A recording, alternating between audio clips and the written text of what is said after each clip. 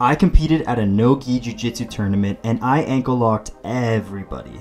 Now I was onto the bronze medal match with a scrappy young kid that was putting a pace on the other guys in the division. He was scrambly and fast and I did not want to get into deep waters with him. I am by no means a wrestler and this is probably hard to watch for anyone who is.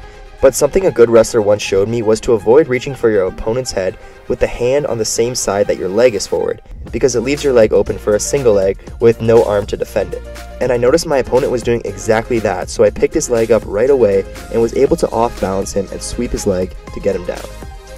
I passed from side control and got a crossface and was able to step to mount. But my opponent regarded and made the same mistake as my very first opponent, leaving his leg dangling and just waiting for it to be snatched up and this time I had my best bite yet and yanked that thing as hard as I could. He wasn't tapping when most people do, so I went even further and got the verbal tap, which I felt pretty bad about in the end because you never want to hurt your opponents.